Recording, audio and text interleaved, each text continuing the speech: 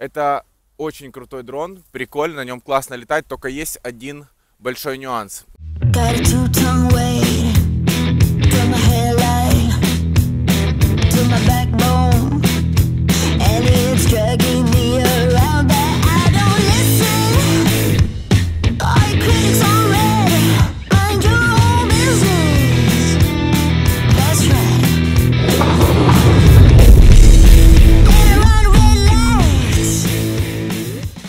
Сейчас очень ветрено.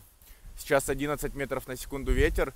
И для дрона на самом деле это очень плачевно. Надо, чтобы погодка была вообще, ну хотя бы там, я не знаю, ну, чтобы вообще в идеале, чтобы ветра не было. Друзья, как запустить дрон? Здесь есть такая кнопочка, один раз нажали, потом второй раз зажали. Дрон активировался. Сейчас я буду подключать телефон и будем пробовать его запускать. Поднял я воздух дрон и хочу проверить функцию Active Track. Это когда дрон на вас фокусируется и следует за вами. Можно сделать так, чтобы дрон снимал вас спереди и летел задом, когда вы идете на него. Но еще очень прикольно, когда дрон облетает вас по кругу и делает крутые кадры с разных ракурсов. Я сейчас этого делать не буду, так как очень ветрено. Да и тут много деревьев.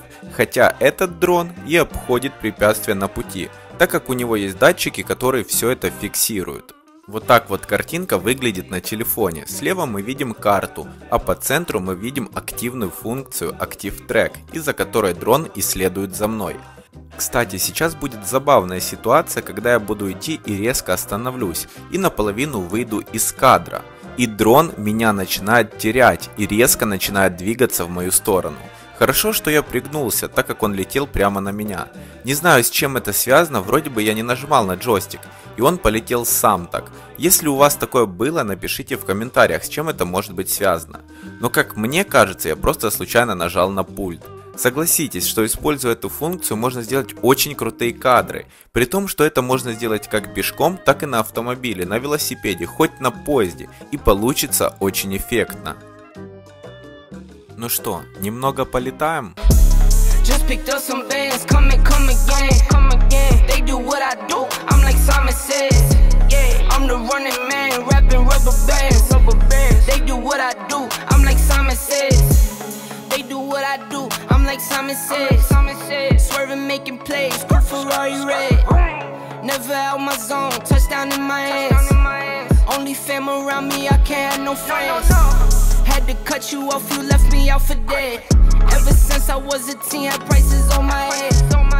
Had to cut you off, you left me out for dead. Ветер и дождь, влага, да, это самая большая опасность для дрона, поэтому не допускайте там чужих каких-то ошибок, да, когда ребята там решили полетать тучи, потом резко пошел дождь и его дрон уже все, не имеет никакую гарантию, там скопилась флага, и, соответственно, со временем будут портиться всякие провода и тому подобное, батареи и так далее. Честно, меня очень приятно удивил этот дрон, то есть он, во-первых, э, стойкий, да, во-вторых, там, ну, хорошее качество картинки довольно-таки, и если правильно ее настроить, реально получить очень крутой результат. Я немного полетал, наснимал там минут на 20. Кстати, батарея держится отменно. Сейчас где-то в районе 60% батареи еще.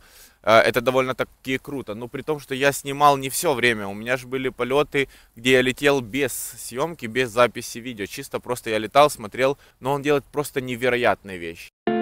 Con ese estilo retro, estás interesante como el acero.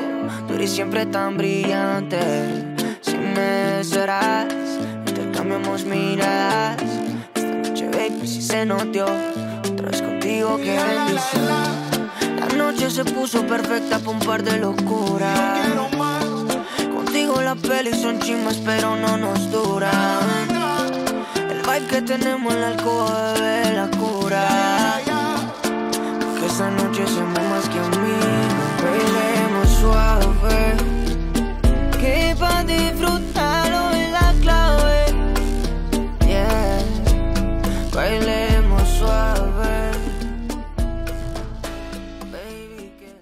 Друзья, что касается моего мнения по поводу данного дрона, я честно доволен покупкой. И за время использования дрона действительно летать можно в районе 40 минут, что довольно-таки много для любительского дрона еще таких размеров. Давайте немного напомню по размерам. Если DJI Mini 3 Pro весит 250 грамм, то Air 3 весит около 700 грамм.